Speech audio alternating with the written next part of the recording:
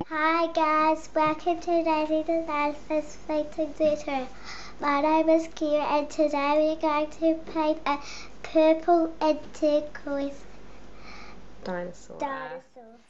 Thanks, Kira. We're going to get straight into it by starting with my number 14 filbert brush loaded with a lilac.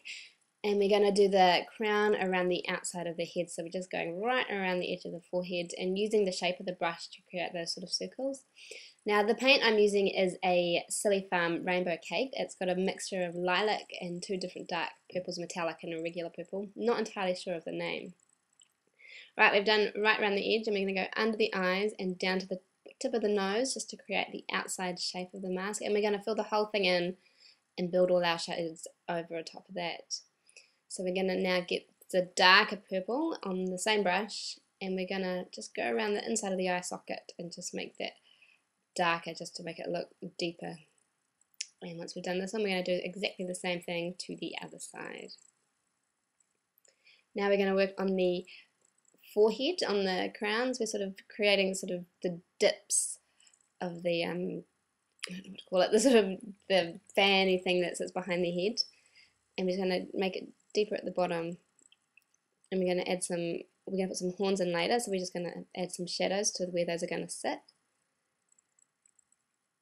we're still just using the same brush and the same thing. Now we're going to fill in the scalloped sort of edges and I'm just going underneath doing the opposite of what I've done. Now I've thought of this and I think it would be much easier later on to um, if you want to do it really quickly, just to use like a round dabber sponge and just pick up both colours on the sponge and just twist it around once you sort of just lay a straight underneath it and then create the circles afterwards. I am now going to go back in and put a bit more water on my brush just to reactivate the paint and maybe a little bit of lilac and just blend all those colours in so you've got a nice soft blend. I'm going to go right around the other side just really quickly flicking them up and just giving it a nice subtle shading and we're going to fill out these inside bits as well.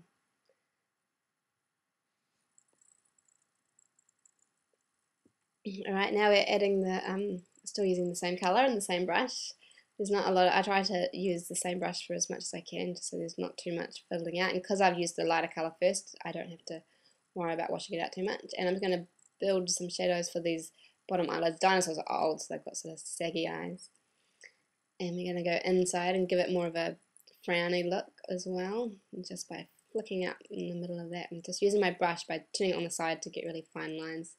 I'm just going to blend that just into the white a little bit more, just generally with a dry brush. Right, now we're going to do some stenciling. I have a BAM crocodile um, stencil and I'm using a seafoam colour from I think it's Fab Paints, and I am just sponging into those sort of hollowed out bits of the crown, and I'm also going to use the sponge and highlight some areas with that seafoam colour. I'm using the stencil.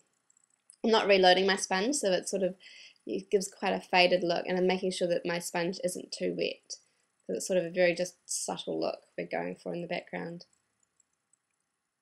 And just repositioning my stencil. making sure it's nice and tight over the face. And there we go.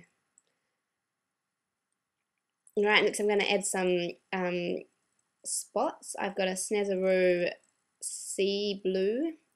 Now, I don't usually use this colour because it does have a wee bit of a habit of staining, but if you use it over another colour, it seems to wash off alright. And I'm just sort of making random spotty shapes. Just a bit on a couple on the eyebrow and in the middle as well and down sort of one side of the nose varying them in sizes as well Alright, now I am going to start on the horns. I've got some Wolfe white on a number 2 Loew-Cornell brush and I am, because I haven't left space for it, I'm going to just try and use the side of my brush just so I'm not picking up as much of the colour underneath so I can keep a nice crisp white horn. And I'm going to go out to a point, although because it's sort of looking at me, I'm not going to give it a very sharp point. And I'm going to do the same on the other side. Right, now is the fun part. Now is the outlining. Um, generally, I start from the top of the design, but today I think with horns I always like to start there. Don't know what it is, I just like to get that bit over and done with.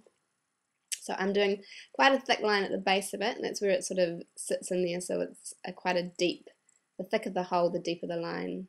The thicker the line, the deeper the hole, I should say. And then I've done a thicker line on the bottom, and I'm going to do a nice thin line just on the top of it, just because the light would be hitting more of the top and you get more shadow at the bottom. And I'm going to add some cracks in it. So just very tip of my brush just sort of flicking it out. And I'm just going to smudge it in with my finger just to sort of give it a bit more worn old crusty look. I'm just flicking very quickly. I'm using Wolfe black for this. And then I'm going to line the little scalloped edges. Just keeping a nice fluid line wiggling it as I go.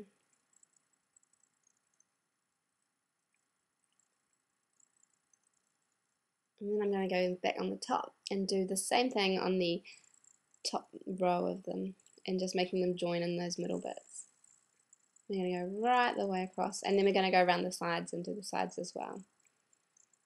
I'm going to add the base of the horns, just giving it sort of like a lump that it sort of comes out of and give it a few layers just for a few extra rolls. And now we're going to just line the insides of that. So nice and thick at the bottom where it's sort of the deepest and then really thin at the edges so it sort of fades out to nothing. Just going to fill out those bits as well. This is one's behind the horn. Now I'm going to do the outside of the line, sort of more that brow shape. So you don't really have the inside scallops on that side. And then the outside scallop bits and I'm going to do the inside of the eye socket. Now I'm going to paint the other side and I'm going to go back with my dark purple on a, my filbert brush and I'm actually going to blend that black in before it dries just to create a darker purple and then I'm going to reline it with my number one Snazaroo black brush loaded with black. Doing some wrinkles, there's some wrinkles on the inside of the eyes and they come around just that old sort of baggy style and they're sort of thin to thick to thin and now I'm going to outline, once I've done on the other side, outline the bottom of the face. My lines aren't perfect, they're sort of, I like that varying thin, thick, thin the whole way around. Also makes it really easier if you have to stop and reload your brush just to keep, so you don't have to worry about keeping that line perfect.